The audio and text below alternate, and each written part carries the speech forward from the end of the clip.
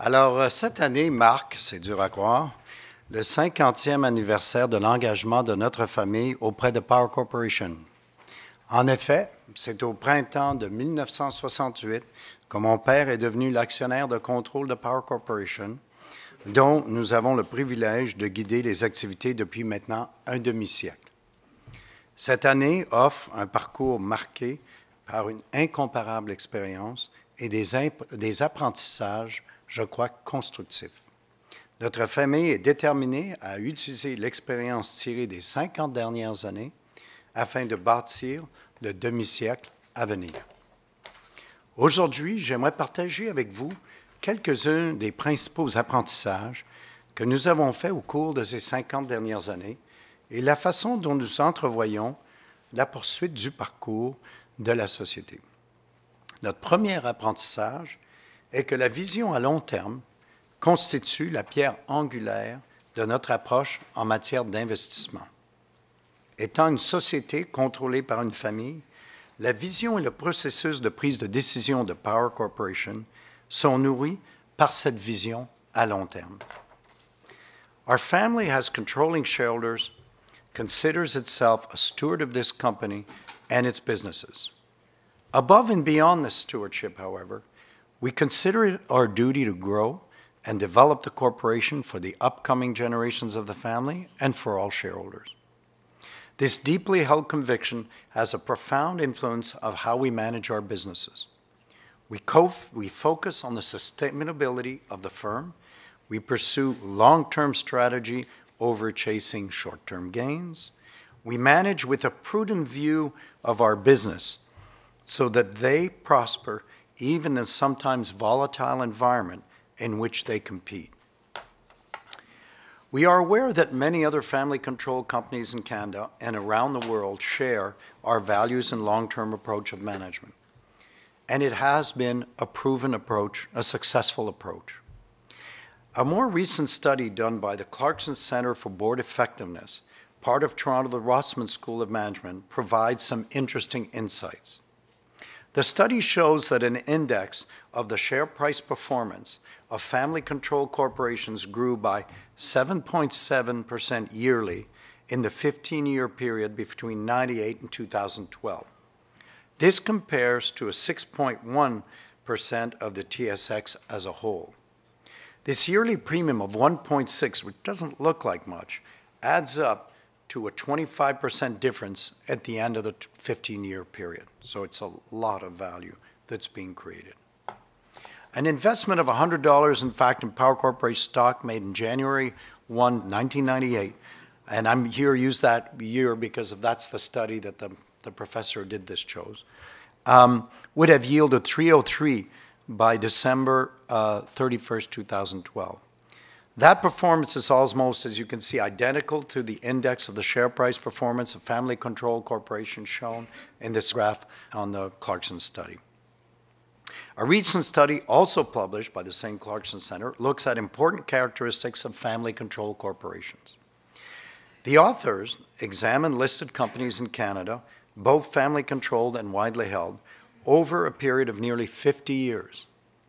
The goal was to quantify elements and factors potentially linked to corporations that adhere to long-term vision.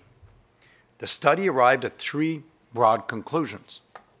First, family-controlled listed corporations are indeed more likely to survive in the long term than non-family issuers.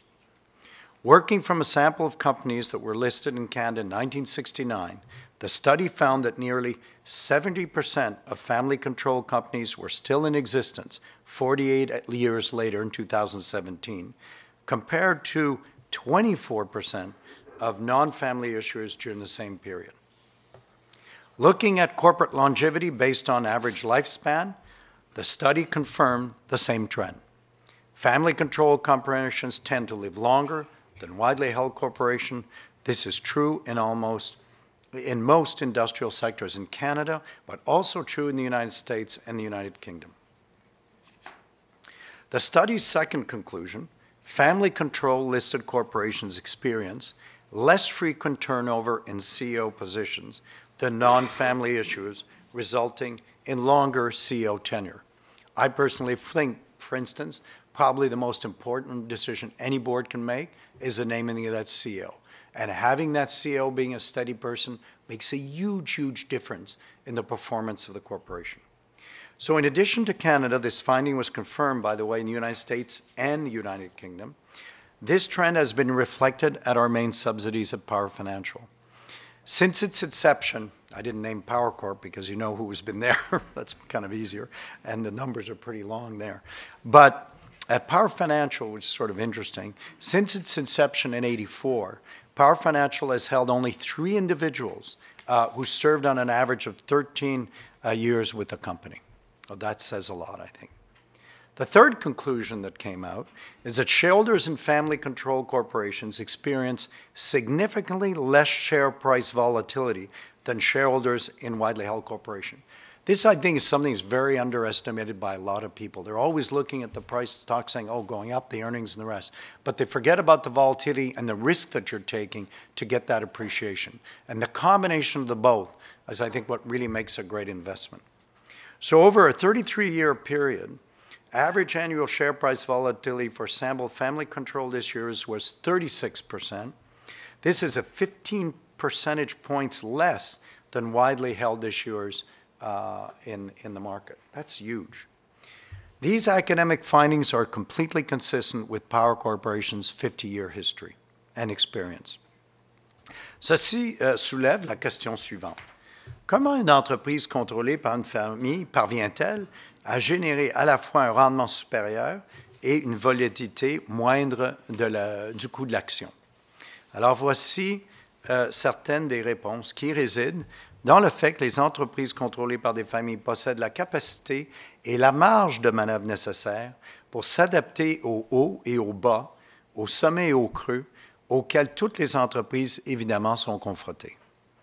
Les entreprises familiales sont non seulement en mesure de s'adapter à des cycles de toutes sortes, mais elles sont aussi une réelle position d'en tirer meilleur parti. C'est d'ailleurs notre deuxième apprentissage. En tant que propriétaire investisseur à long terme, nous savons que les périodes de croissance rapide sont généralement suivies par des périodes de rationalisation et de consolidation. Nous savons également que ces périodes nous permettront de bâtir en prévision de la prochaine période de croissance rapide, du moins qu'on espère. Nos sociétés doivent donc non seulement survivre des périodes de récession et des ralentissements économiques, mais elles doivent également survivre et tirer parti des crises financières et des perturbations majeures résultant de l'évolution, par exemple en ce moment, des technologies et de la réglementation. Par conséquent, les sociétés contrôlées par des familles mènent leurs activités et prennent des décisions en fonction d'un horizon de long terme, avec des perspectives plus larges et en adoptant des approches plus, plus grandes, je crois, en matière de gestion des risques. Ces caractéristiques leur permettent de récolter les fruits d'investir et d'effectuer des changements nécessaires pour le futur dans des contextes marqués par de nombreux défis.